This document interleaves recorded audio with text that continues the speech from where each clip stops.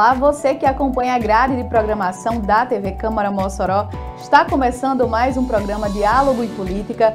Hoje a gente recebe como entrevistado o vereador Lucas das Malhas. Seja bem-vindo, Lucas, ao nosso programa Diálogo e Política e fique à vontade para fazer as suas considerações iniciais para os nossos telespectadores. Muito obrigado, Bênia, pelo convite. Deixar nosso mandato sempre à disposição aqui do, do programa Diálogo e Política, né? Onde vamos conversar um pouco aí, abordar a nossa experiência de vida, né, e também as ações aí do nosso mandato. Bacana. Nesse primeiro bloco a gente vai é, buscar um pouco mais de informações sobre Lucas, né, antes de ser vereador, antes de ser parlamentar, ser representante do poder público local. É, nós temos aqui algumas informações e nós vimos que o senhor é né, muito jovem, foi eleito com 22 anos, né? Uma eleição bem difícil, bem disputada. E o senhor conseguiu ganhar. E muito jovem, como foi essa, essa chegada na Câmara com tanto, tão pouca idade? É, bem, eu sempre admirei a política, né? Eu sempre tive uma proximidade ali muito grande com a minha avó, é, ex-vereadora Maria das Malhas, sempre ela ali, o carrapato dela, onde ela estava, eu estava ao lado. E sempre admirei a maneira como ela tinha a política em, em cuidar das pessoas, em ajudar as pessoas. E sempre acompanhando esse trabalho dela, eu digo, rapaz, é, um dia eu quero ser igual a minha avó. Dizia até assim, quando eu crescer eu quero ser igual a minha avó. E no momento oportuno aí, né, ela não tinha condições de saúde para enfrentar uma campanha e ela me deu essa difícil missão de representá-la aí em um processo eleitoral. Então encarei esse processo como uma oportunidade e com bastante seriedade, né? Uma campanha muito difícil, né, onde um nome novo, um nome jovem, já fui candidato em um partido grande e forte, né, o MDB é um partido de grande fibra e de grande, de grande disputa, eu posso dizer. Realmente, o MDB é um partido que precisava de bastante voto para poder ser eleito ali por um, um, partido bastante conhecido e bastante popular, né? Aqui em Mossoró e também em todo o Brasil. Lucas, e aí 23 anos, imagino que a Câmara foi um passo muito novo para Não foi tão novo porque você já fazia parte ali dos bastidores. Exatamente. Você trabalhou como assessor, né, também? Era assessor pessoal da ex-vereadora Maria das Malhas. E aí a sua, avó, é, a sua avó foi eleita durante dois, foram dois mandatos, né, lá na Câmara? Exatamente. Minha avó, ela foi presidente de conselho comunitário quatro vezes, né? E a última eleição dela, ela teve uma expressão muito grande de votos, teve mais de 900 votos. Então, algumas pessoas do bairro começou a estimular a possível candidatura dela à vereadora de Mossoró. Então, em 2008, ela foi candidata, né? Ganhou, naquela época era 13 vereadores apenas, a legislatura era bem mais concorrida e bem mais difícil foi eleita pelo PSL com 1.956 votos. A gente da família diz muito que foi Deus que deu essa vitória a ela, né? Porque o, a quantidade de votos que ela tirou representa o ano que ela nasceu. Então é uma coincidência muito grande, né? 2012 ela foi tentar a reeleição pelo DEM, foi a eleição que ela obteve mais votos, 2.244 votos. Mas infelizmente pela questão de legenda e regra eleitoral, ela não conseguiu se reeleger mas continuou sendo uma vereadora sem mandato, continuou fazendo os serviços em prol da população e a população reconheceu que ela tem que estar na Câmara. Então, em 2016 voltou, se é, elegeu vereadora, fez o seu mandato e agora aí o povo de Mossoró confiou na gente a, a difícil missão de representá-la na Câmara, mas graças a Deus tem feito um mandato bom, mandato em prol do povo, com muita essa responsabilidade e destaque aí na Câmara Municipal de Mossoró. Essa liderança dos bairros, ela ajuda muito a ficar mais próximo da, das pessoas, né? Da, das pautas, das reivindicações que surgem ali nos bairros, né? O senhor também tem essa proximidade com... O, o senhor é de qual bairro? Do, o senhor representa o Planalto, né? 13 de maio. Tem algum outro bairro também que o senhor é, a, gente, no, a gente, nosso mandato é de toda Mossoró, mas sempre, cada vereador ali, ele vai representar reduto, uma é. parcela da população, ele tem o seu reduto. E nosso mandato é pautado em trazer ações ali para o Grande Planalto 13 de Maio, né? A gente pega ali o, o Grande Planalto 13 de Maio e tem regiões. Tem de fato o Alto de São Manuel, ali na região da Presidente Dutra, tem o Papo, tem o Liberdade, a Alameda dos Cajueiros, o Planalto, Malvina, Sumaré. Então, assim, posso dizer que da ponte para cima, como a gente chama, nosso mandato aí tem dado uma atenção E quero até já aqui fazer um registro de agradecimento ao prefeito Alisson Bezerra por sempre estar trazendo ali ações do, do poder público na nossa comunidade, nossa comunidade que precisa ainda de muitas melhorias e a gente tem reivindicando e tem um compromisso do prefeito Alisson que vai atender. Por exemplo, há décadas a gente sonha com a pavimentação asfáltica, né?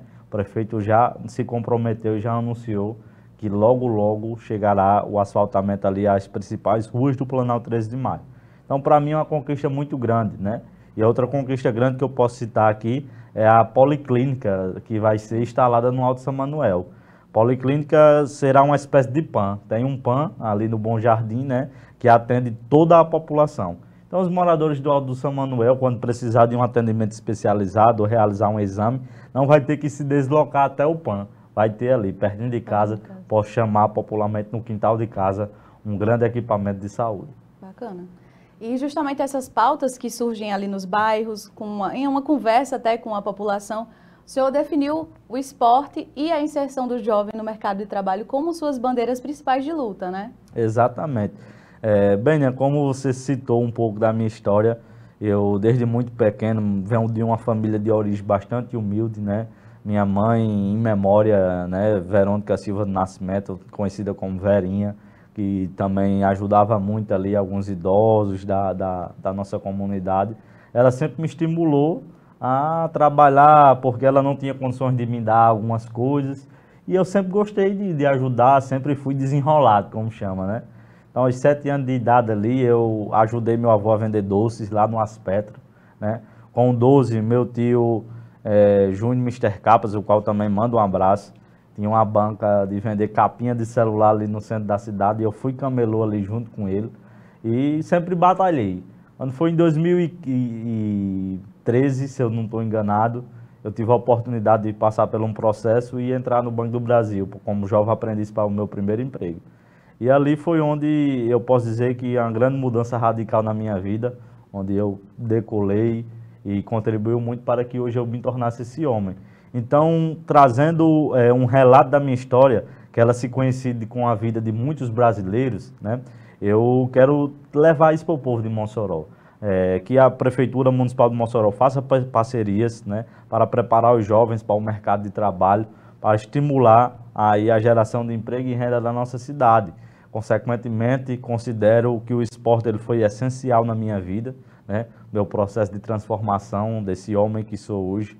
E eu estimulo muito a bandeira do esporte na Câmara Municipal de Mossoró, porque eu acredito que o esporte ele é um agente transformador que, além de, de transformar vidas, ele contribui para a organização da nossa sociedade. Porque eu acho que educação e esporte eles caminham juntos. Onde um jovem está ali tendo a oportunidade de praticar determinado tipo de esporte, ele não vai estar ali na rua com exposto à periferia, que hoje cada dia mais leva jovens aí para esse mundo obscuro das drogas. Cada vez mais cedo, né, infelizmente. E justamente essa bandeira do esporte sempre está lá na Câmara cobrando as obras né, de, de, estruturação, de reforma dos campinhos. Né? Esses campeonatos de várzea, justamente essas, essas, esses campinhos né, que recebem esses jovens são muito importantes, né? porque ali próximo de casa, você está ali entretido com os amigos, então já não tem tempo para pensar em outras coisas. Né? Exatamente. Né? A gente sempre solicita uma melhoria na iluminação, uma melhoria na parte estrutural. E, o campo da caixa d'água, que foi o campo que eu joguei aí, a, posso dizer, a minha vida toda, é o campo que a gente sonha com a transformação do campo, né? É um campo que existe há décadas, tem um valor folclórico muito grande ali para a nossa comunidade e também já despachei essa demanda com o prefeito Alice para a gente revitalizar ali, fazer uma grande reforma no campo da caixa d'água para estimular a prática do esporte dos nossos jovens. E aí, Lucas, atualmente você cursa Direito, né? É um curso que requer bastante, é, digamos assim, responsabilidade, porque daqui a pouco você está ali é, auxiliando e colocando em práticas mesmo, em, em prática leis, né? E aí você recebe essa, como vereador, né, dentro de uma sala de aula, junto com o professor, você recebe também cobranças ali dos seus colegas de sala, reivindicações, porque eles sabem que você é uma figura né, política. É sempre engraçado. Rapaz, tem um buraco ali no meu bairro, a luz do poste se apagou, e assim, de forma informal. Eu sempre costumo dizer que o vereador ele trabalha 24 horas por dia. O vereador é o político mais próximo da população, é onde pega as demandas e os anseios que o povo sofre, vive e necessita, né? Então sempre tem na, na turma alguém que tem uma necessidade e a gente leva para o nosso mandato aí. Confesso que, que é um, para mim é muito difícil, né, estudar direito hum, pelo fato do tempo, né? Sou pai, tenho, graças a Deus, dois filhos, um Lucas Filho e Maria Flor. Então a gente reunir essa demanda de vereador, tempo para a família e tempo para estudar é bem difícil, sabe, Bênia? Hoje eu vivo o dilema aí que muitos jovens do nosso, do nosso estado, do nosso país vivem, né? Que é trabalhar estudar, trabalhar estudar. Jornada dupla, né? pois é. é. E aí 2020 foi um ano realmente que, de mudança, né? Porque você foi eleito vereador do Mossoró, chegou lá na Câmara, um dos vereadores mais novos, acho que você é mais novo, né? Você Exatamente. e Pablo Ares ali têm a mesma faixa etária. E aí, como é o seu relacionamento com os outros vereadores, né? Alguns já estão ali já eleitos, reeleitos há bastante tempo. Você acha que para chegar ali mostrando que realmente você tem responsabilidade, estava ali querendo fazer o seu trabalho, você acha que ainda teve essa, essa barreira ou, ou é tranquilo o trabalho por lá? eu posso falar assim, na, na minha inserção dentro da Câmara foi tranquilo, né? porque eu já estava ali sempre frequentando no mandato da ex-vereadora Maria das Malhas, minha avó, e a turma da Câmara, de forma muito sensacional, me recebeu de braços abertos. E assim, embora a gente seja muito jovem, mas a gente tem procurado fazer um trabalho de destaque e os colegas têm contribuído para isso, nos ensinando né, a cada dia e aprendendo, e aí a gente vai tocando o mandato. O vereador Pablo eu acredito que ele tem 26, 27 anos, eu tenho 23 anos de idade, né? Eu posso dizer que se a eleição não tivesse sido adiada, porque foi adiada um, um período de, de, dias, né? Foi por 15 de novembro, foi. geralmente foi em outubro, eu teria sido eleito o vereador mais jovem da história de Mossoró. É porque meu aniversário é dia 1 de novembro. Uhum. Aí eu já fui eleito com 22 anos. Acho que eu só perco por esse prefeito de Mossoró, Francisco José Júnior. Que era o mais novo, né? Mais novo.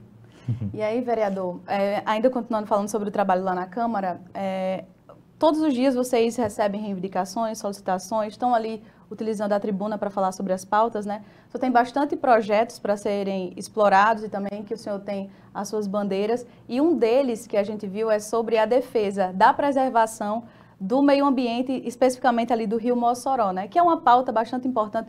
Muita gente já teve essa pauta, mas infelizmente ainda não conseguiram, é, de fato, ações e políticas públicas que ajudassem, auxiliassem o Rio, né? Como é que é esse projeto do senhor? Eu acho que é um sonho muito grande para toda a população da cidade de Mossoró ter é, a despoluição do rio Mossoró, né? O rio Mossoró, é, acho que algumas pessoas não sabem a importância que ele tem para a nossa cidade, né? Então, o nosso projeto visa aí defender né, essa despoluição do rio Mossoró e mostrar essa importância para a nossa classe política. Então, a gente sonha aí com a despoluição do Rio Mossoró, que possamos utilizar a riqueza que é o Rio Mossoró para a vida dos moçoroenses, né? Então, nosso projeto visa basicamente isso, a despoluição. É, a preservação e o respeito ao meio ambiente, eu acredito que seja uma pauta que vai ser bastante defendida e merece ser defendida. A gente faz uma pausa agora, daqui a pouco a gente volta para falar sobre mais projetos do vereador Lucas das Malhas. A gente falou sobre preservação do meio ambiente, sobre a questão do Rio Mossoró. E no próximo bloco a gente fala mais da atuação parlamentar do vereador Lucas das Malhas. Então você não perca no próximo bloco, a gente volta já.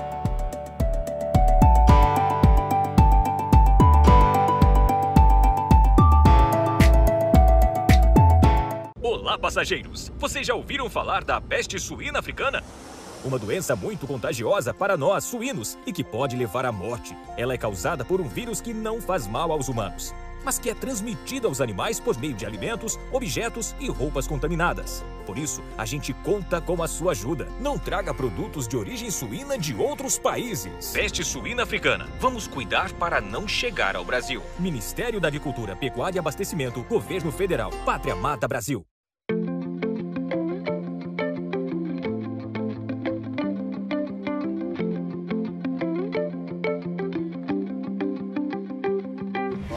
Sal é mais um produto que compõe essa riqueza dessa, que essa região oferece para a atividade do turismo. Então, a Frente Parlamentar em Defesa do Turismo tomou essa iniciativa, juntamente com a Sociel, para que a gente pudesse ter a oportunidade de trazer aqui empresários, é, presidentes de instituições, em suma, todo o trade turístico para que a gente pudesse ter um conhecimento também de como é feito essa, essa, essa rota, como é que ela é produzida. A Rota do Sal vem com essa proposta de estimular esse turismo, a interiorização desse turismo, a diversificação desse turismo. A oportunidade que a Sociel coloca de disponibilizar para o público para visitar as nossas instalações e conhecer como é que esse sal é produzido, tanto contribui do ponto de vista turístico, como um atrativo, um equipamento turístico de relevância, como contribui para dinamizar a nossa economia local. O povo de Mossoró e região e de outros estados precisam conhecer toda essa estrutura fabulosa, um presente da natureza e um presente para a nossa cidade. Então fica aqui o nosso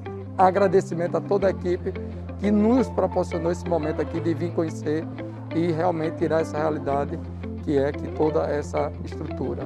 Após a apresentação da Rota do Sal do RN na Frente Parlamentar de Turismo, a Salina Santa Clara recebeu a sua comissão a fim de apresentar a produção e o beneficiamento do sal marinho potiguar. Para nós que fazemos a Rota do Sal do RN, foi muito importante essa visita, porque vem cada vez mais crescendo e atingindo seu objetivo, que é aproximar a atividade salineira da sociedade, recebendo visitantes, turistas pedagógicos e de lazer. Venha conhecer a Rota do Sal do RN.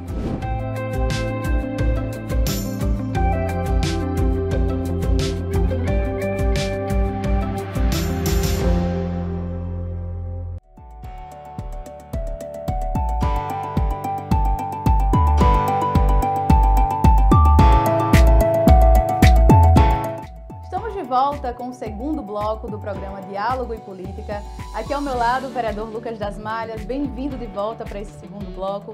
A gente falava no primeiro, conhecia na verdade um pouquinho mais da pessoa do vereador Lucas das Malhas, né? Um pouquinho das suas raízes, da sua história. Nesse segundo bloco, a gente explora um pouquinho mais dos projetos de lei, né, das indicações, dos encaminhamentos e solicitações feitos pelo vereador Lucas das Malhas. Vamos falar um pouquinho agora, voltar à questão da inserção do jovem no mercado de trabalho, né, que é uma das suas principais bandeiras de luta. O senhor fez um projeto de lei, né, que tramita, acho que está em tramitação ainda pela Exatamente. casa, né, que institui a semana, né, vou até ler aqui bem direitinho, a semana de orientação profissional para o primeiro emprego em escolas públicas. Importante, né, esse diálogo com o público jovem. Com certeza. É... Acho que muitos jovens hoje têm uma confusão na cabeça. Ah, qual profissão eu gosto mais? Qual eu vou seguir? Qual vou me identificar? Eu acho que é muito ruim você trabalhar em algo que você não gosta. Então, esse nosso projeto visa dar essa orientação a, aos jovens da escola da rede municipal, orientar eles, mostrar as profissões e que ele possa fazer a escolha correta de qual ele deva seguir aí. Então, estimular os jovens a escolher a profissão correta e ser, serem felizes aí na, na vida. Porque tem muita gente que passa a vida escolar toda e quando chega no, no final do ensino médio ainda não sabe o que, o que quer, o que, que... Tem muitos testes vocacionais, mas ainda assim é um, um diálogo que precisa ser feito né, com esses Exatamente. Jovens. Eu sempre tive essa confusão. Meu Deus, quero ser médico, quero ser advogado, quero ser jogador de futebol. Dos pais também, né? é, hoje eu sou político, né? Então, então o nosso projeto visa isso, dar essa orientação a inserção aí do jovem no mercado de trabalho. Então, visa orientar, né, mostrar as profissões e que ele possa, desde cedo, saber o que ele quer e trabalhar e lutar por isso. Tem outro projeto também bem bacana que vale a pena destacar, que chama Território Seguro, né? Como é que funciona esse projeto, vereador? Esse projeto ele surgiu de uma demanda que nós recebemos no mandato da ex-vereadora Maria das Malhas. Acho que todos se lembram da situação da rua João Barbosa de Lira, no bairro Sumaré. Né? Foi uma rua que apareceu nos, no, nos programas de, de, de, televisão, nos meios de comunicação, pelo um problemática grande que tinha aos moradores daquela rua que não poderia nem entrar dentro das suas casas. Alguns casos os muros estavam sendo afetados, rachadura, é, quebrando, esse tipo de situação. Então, nós buscamos naquela época a Prefeitura Municipal de Mossoró para saber qual era a real situação da rua, né? Então, os técnicos da secretaria nos mostrou o mapa da cidade de Mossoró e vimos ali que de forma errônea, né, os moradores ali construíram suas casas dentro de um córrego do rio. Então, quando chovia, ali era um córrego no rio, a água vinha com tanta força que causou esse grande prejuízo. Então, o município de Mossoró também teve um grande prejuízo, porque teve que fazer uma obra de drenagem muito grande para poder conter ali a, aquela força da água que vinha e fazer a pavimentação. Então, nosso projeto visa isso, orientar a população antes de adquirir um terreno, antes de adquirir um imóvel, né? Ela buscar informações do poder público para saber se ela está construindo sua casa dentro de um território seguro, né? Para que ela não venha a ter prejuízos futuros. E é um projeto muito importante porque quando a gente olha o processo de urbanização das cidades, é muito feito de forma desenfreada, né? Justamente sem um estudo, sem ali uma análise, e justamente esse projeto é para conter esse tipo Exatamente. de situação. Exatamente. Né? E hoje Mossoró vive um período chuvoso, graças a Deus, é importante para os agricultores, né? E a gente vê que em alguns casos há o alagamento. Então, foi porque Mossoró não foi construída da maneira correta, né? A parte estrutural. Então há esses alagamentos por isso, né? Quero fazer um recorte aqui, parabenizar a gestão, porque fez várias ações logo no início do mandato, né? De desobstruição de bueiros e outros serviços para amenizar esses impactos que a população de Mossoró sofre no período chuvoso. Então, é, eu posso dizer né, que se esse projeto tivesse sido apresentado no início do desenvolvimento de Mossoró, Mossoró hoje não estaria nessas condições, com certeza.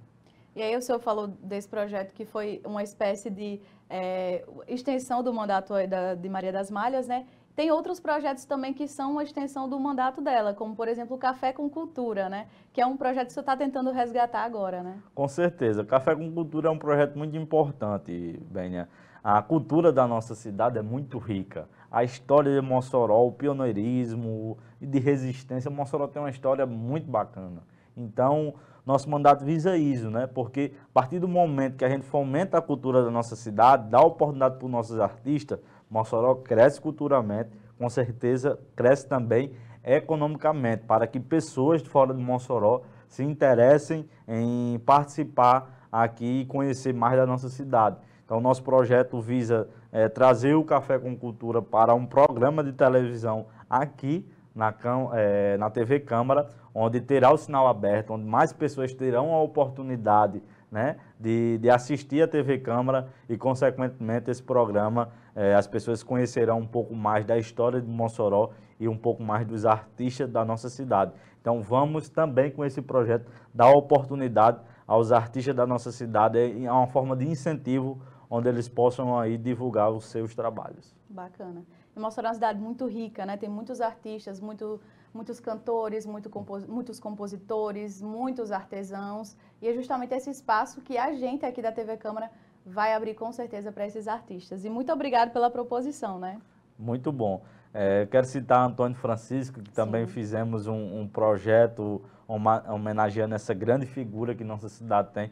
Bem, amo muito Mossoró. Mossoró é muito rico de tudo, então que cada vez mais pessoas fora de nossa cidade, de outros estados, eles possam vir até Mossoró para dar uma, uma espécie de, de melhorada da nossa economia e também conhecer a história linda que tem nossa cidade. E continuando falando sobre o trabalho lá na Câmara, o senhor participa de algumas comissões, né?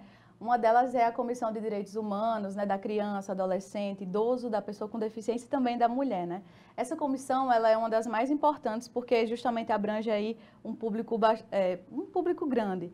E eu queria que você falasse um pouquinho sobre como é esse trabalho nessas, nessas comissões. É muito importante a gente sempre estar tá bus, perdão, buscando ações que visa é, amenizar os impactos que há na vida dessas pessoas.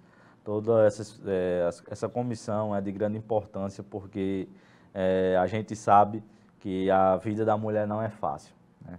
Eu sou fã da mulher e eu quero citar aqui uma viagem que eu fiz a Fortaleza. Fui conhecer a Casa da Mulher Brasileira. Da mulher brasileira. Né? E eu comprei essa ideia, solicitei, falei na tribuna, procurei deputados para que a Casa da Mulher Brasileira pudesse chegar até Mossoró. Casa da Mulher Brasileira é um programa do governo federal, onde ele, ela, essas casas estão instaladas nas capitais. E Mossoró vai ser uma das primeiras cidades do interior do Brasil que irá receber a Casa da Mulher Brasileira. Né? Participei do lançamento da Pedra Fundamental com a... A ministra, né? Ela a aqui. ministra Damares e a, a deputada Carla Dixon. Dixon. Então, eu fui informado pelo secretário de Assistência Social de Mossoró, Tiago, que o processo para a construção já está em fase final de licitação. Então, se Deus quiser, o povo de Mossoró contará com esse importante, com essa importante órgão, né, onde ele vai dar, vai dar ali um, um suporte para a mulher. A mulher que os casos de violência contra a mulher, ele cresce a cada dia, seja na rede social, seja violência física, violência psicológica, existe muitos tipos de violência. E a gente estende a esse trabalho que a gente quer fazer com as crianças, com os jovens, né? Porque eu também participei, é, vou voltar agora para a minha história. É. Eu fui aluno do PET, né? Que era o Programa de Reeducação ao Trabalho Infantil. Então, foi um programa que marcou minha vida, né? Lá eu aprendi muitas coisas, lá eu tinha a oportunidade de, de ter uma educação, de praticar esporte, de ter um momento de esporte, lazer, de alimentação. Então, fazer parte dessa comissão para mim é importante por isso, porque eu vou em busca de, de ações que visam atender essa classe que precisa de uma atenção muito especial. E falando sobre projetos voltados para a mulher, é uma pauta bastante importante porque o acolhimento é necessário, porque muitas vezes a mulher ela não consegue, a mulher vítima de violência, ela não consegue sair ali daquele seio familiar por conta que a dependência financeira, né, ela não tem ali tantos recursos para poder começar uma nova vida em outro local. Então, bastante importante esse E projeto. também tem uma situação, Benha. É, quando a mulher ela vai denunciar uma violência sofrida, o processo burocrático é muito grande. Ela vai aí, no mínimo, é, andar em diversos órgãos da nossa cidade. ITEP, Delegacia da Mulher e diversos órgãos, né? Então, a Casa da Mulher Brasileira, ela reúne todos esses órgãos necessários lá naquele ambiente. Porque imagina aí o quanto é constrangedor para a mulher chegar na delegacia e contar uma história, chegar no ITEP contar outra história, chegar e contar, reviver, reviver esse trauma, né? Então, como você falou também da independência financeira, ela muitas vezes não denuncia violência sofrida porque depende do marido, porque não quer sair de casa, que não tem para onde ir, né? E a Casa da Mulher Brasileira reúne todas essas necessidades que há para dar um esse em um só local. Bacana. E aí, falando ainda sobre as comissões, você também participa da Comissão de Desenvolvimento Econômico e Turismo. E Mossoró é uma cidade que justamente tem bastante potencial turístico, né? Com certeza, né? Quando eu falo da cultura que devemos explorar da nossa cidade, é dando oportunidade aí ao turismo de nossa cidade, né? Hoje, Mossoró, na Câmara do Mossoró, a gente tem uma frente parlamentar do turismo, que é presidida pelo líder, meu líder do governo, vereador Genilson Alves, e a gente visa isso, né? Mostrar o potencial cultural que Mossoró tem, mostrar o potencial cultural para que empresas venham se instalar na cidade de Mossoró, mostrando o sal, o melão e todas as outras riquezas que há na nossa cidade. Bacana. E tem uma outra comissão também que o senhor faz parte, que é o de Orçamento, Finanças e Contabilidade, que o senhor falava agora há pouco aqui nos bastidores, que é uma das, das mais importantes comissões ali da casa, né? Para mim foi um grande desafio, né? Eu chegar na Câmara para estudar regimento, para saber como o funcionamento do Legislativo, logo de cara eu peguei o plano plurianual, né? Que é o, o planejamento, PPA, né? isso, o, o famoso planejamento da cidade durante quatro anos. E eu tive a oportunidade e a difícil missão de ser o relator desse projeto. Então, para mim, eu encarei é, esse desafio com muita seriedade, porque é de fato é algo que você tem que ter muita responsabilidade, porque você vai, de certa forma, designar a vida de mais de 500 mil pessoas.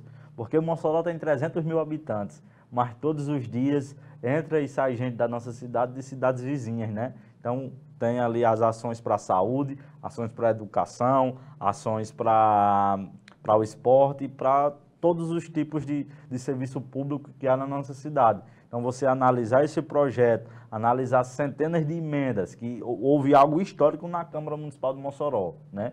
Nós passamos mais de 12 horas discutindo o projeto e discutindo ah, as emendas que, há, que haviam ali com todos os vereadores, onde o vereador ele colocou uma emenda para uma determinada ação e eu, o vereador defenda a sua emenda, como é que a gente pode atender, como é que a gente pode melhorar. Então, para mim, foi de grande responsabilidade é, participar desse momento do projeto do PPA na Câmara. Você estava falando aí da, da questão da inserção das emendas impositivas né, no, no projeto. Exatamente. aí depois um... veio a LOA, que eu também fui relator. Então, a Comissão de Orçamentos e Finanças é uma comissão que exige muito trabalho, muita responsabilidade. E aí a Câmara passa sempre por esse processo de muito diálogo, né? Assim como o nosso programa Diálogo e Política, a Câmara também tem passado por muitos processos de diálogo, né? Com certeza. É, é um destaque que eu quero fazer a essa legislatura. Eu considero essa, é, essa legislatura atual, nova legislatura, onde teve uma grande renovação, a que proporciona mais diálogo, né? Então, quero parabenizar todos que compõem a Câmara Municipal de Mossoró, o meu presidente, Laurence Amorim, mandar um abraço e também a gestão municipal do prefeito Alisson, porque nós temos construído os rumos de Mossoró, o desenvolvimento de Mossoró através do diálogo. Porque é escutando a necessidade do povo, é estando ali na rua sabendo o que é de fato que o povo precisa de perto, que a gente constrói a necessidade que há na nossa cidade e a gente constrói a melhoria da, da vida das pessoas. Vereador, temos muitos outros assuntos para explorar aqui, mas não vai dar tempo porque o nosso tempo já estourou. Quero agradecer a sua participação aqui, a sua vinda, a sua abertura, né? O senhor contou um pouquinho aí da sua história, da sua trajetória e quero deixar o espaço aqui aberto para o senhor fazer as suas considerações finais. Quero agradecer a oportunidade de participar do programa, Benia, dizer que meu mandato está sempre à disposição. Quero vir de novo para a gente terminar os assuntos. dizer ao povo de Mossoró que esse menino que você está vendo aqui, esses jovens, esse jovem que você está vendo aqui, perdão, ele está disposto a lutar cada vez mais para melhorar nossa cidade, nossa cidade que passa por um grande avanço de melhoria e de mudança né, na vida dos nossos moçoroenses, dando dignidade de vida. Então, acompanhe nosso trabalho através das redes sociais, Instagram, Lucas Darmalha, Facebook, Lucas Darmalha, procure meu gabinete, estou à disposição aí para trabalhar pela nossa cidade. Muito obrigada pela presença, vereador. E você que acompanha o nosso programa Diálogo e Política e também a nossa grade de programação, se você gosta do trabalho do vereador Lucas das Malhas e acompanha as sessões ordinárias, extraordinárias, não deixe de conferir tudo ao vivo através do canal 23.2 da TCM e em breve no canal 20 Sinal Aberto, se Deus quiser ir para toda Mossoró e região. Muito obrigado pela sua companhia e até o próximo Diálogo e Política.